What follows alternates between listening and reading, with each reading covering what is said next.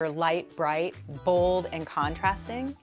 And a little dose of moody drama here and there is never a bad thing. We love a romantic moment. We're collaborative, we're a collective, and that means there are many brains on their project instead of just one.